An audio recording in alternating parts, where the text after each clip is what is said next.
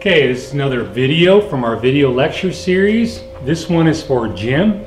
Jim asked a question relating to, uh, he knows somebody who lost uh, use of hands, has sounds like numbness, tingling, and spasticity in the hands. So we're going to talk about the difference between losing losing function in the hands in terms of is it spastic or is it is it uh, uh, flaccid, meaning uh, kind of dead hands. So we'll call this dead hands versus, versus spasticity. When we look at the hands in terms of their neurology, we have to, have to realize that the brain, the brain controls the, the arms and hands. It does so through a series of circuits and it, it does so also with in conjunction with the, the cerebellum. And so there's a lot of different things that are going on to control the hands. Now, it's all of that is based on the reflexes that you have in your arms and hands, the, the ability to flex, the ability to extend, the ability to feel movement while we're doing that. All of that is what we call the reflexogenic system. And the, the brain, the, the brain stem, the, the basal ganglia, and the brain play off of those reflexes to use them to make more fine movements and controlled and sensical uh, movements to do whatever it is that we're going to do. And some of the most difficult things that we do are speech, hand movements, and walking, walking and talking.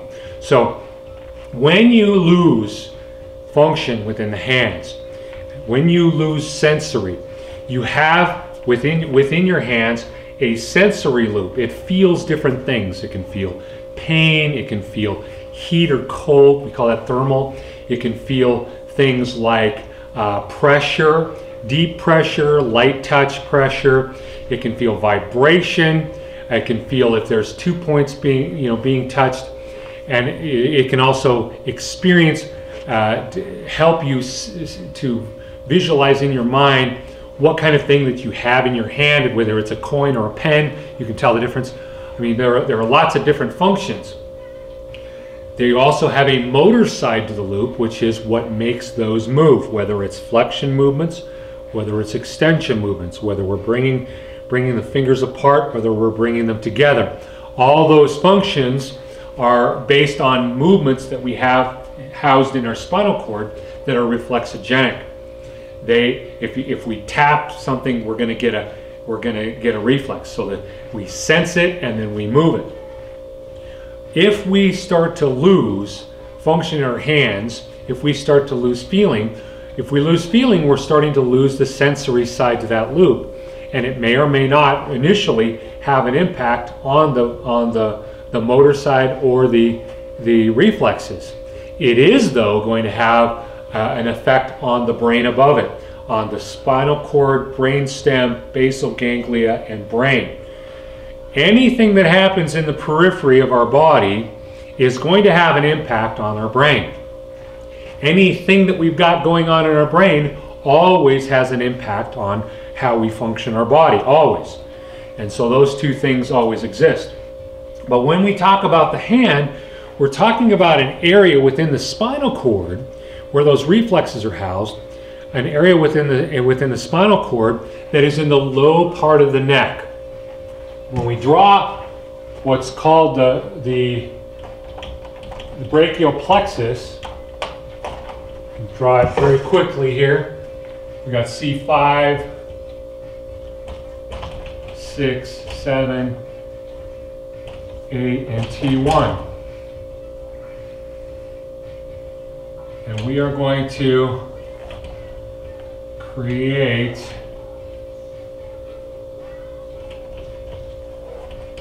a basal, uh, I mean, we're going to create a, a brachial plexus here. And without drawing the rest of this stuff, this one is going to go into the biceps and shoulders. So if the problem is up here in the neck, it's going to affect out here into the shoulder. If it happens, if you're experiencing it in the hand, the hand is going to be contributed by uh, C8 and T1, C7, C8 and T1, but primarily C8 and T1. And it's going to be primarily, this is the musculocutaneous This one is the radius, this is the ulna, and this is the medial nerve, median nerve. And it's primarily these that are, that are within the hand. When we have a, an issue that goes into the hand, we have to say, okay, when, when we're dealing with a motor part of that issue, it's not functioning, is it spastic or is it a, more like dead hands? We call it flaccid paralysis. If it is flaccid, meaning it's just going dead and it can't move it and that, and it's not, not tight or spasm, spasm, that is what we call a lower motor neuron lesion. That means that it's something outside the spinal cord, or particularly what we call the ventral, the ventral horn. We're not going to get into that today, but it's going to be happening from here down. That is going to give us a flaccidity. That's going to give us a uh, what I call dead hands. It can be associated with with numbness, loss of vibration sense, loss of uh, uh, loss of uh, sense of of where where are those things in space, proprioception and all that but it will be happening from here down. If it's associated with spasticity, it's actually going to be happening up in the spinal cord above. If we look at the spinal cord here real quickly, if we look at the spinal cord,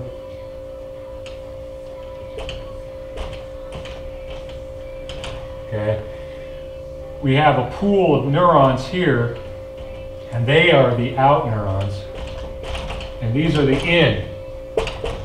This is where all the sensations come in. This is where everything goes out. This pool of neurons receives information or is told what to do by other neurons that are coming up to it.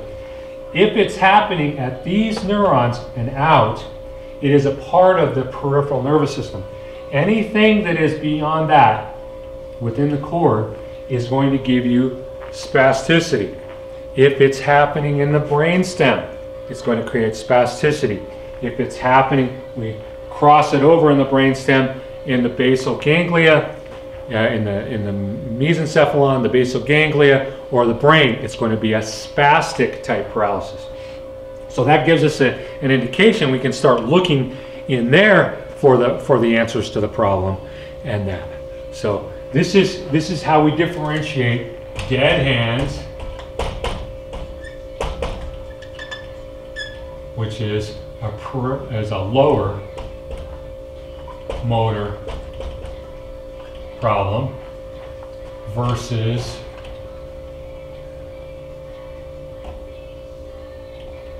versus spastic hands, which is upper. Now I want to end with talking about what if what if the doctor, we, we see that it's spastic, but the doctor did an MRI and there's no disc bulges or disc herniation, so we, we don't know why that could be happening? That is an excellent question. We see that a lot in our clinic, uh, with or without bulging or herniating discs. But the reversal of the curve, when you lose the curve in your neck, it stretches the spinal cord. And so the spinal cord itself actually gets smaller. We call it functional stenosis. It's a tethering or a stretching of the cord. When you stretch a rubber band, it gets thicker. No, it doesn't. It gets thinner, right? You stretch a rubber band, it gets thicker. When you stretch a spinal cord, or a, thinner, when you stretch a rubber band, it gets thinner. When you stretch a, a spinal cord, it gets thinner. Because it gets thinner, it decreases the blood flow within the cord itself and the brainstem. And that can facilitate the spasticity just by itself. And by working with those discs and getting them to change by, by working with the molding and the weights and decompression, changing the shape of those discs so that now they have a, a, new position and they take the stretch off the cord and now the spasticity goes away. And so that's, that's uh, something that we see on a regular basis here in the office. Uh, hope that answered your question. If you have any more questions related to this, we'll, we'll be happy to do another, another video relating to it. But excellent question, Jim, and hope you have a wonderful day.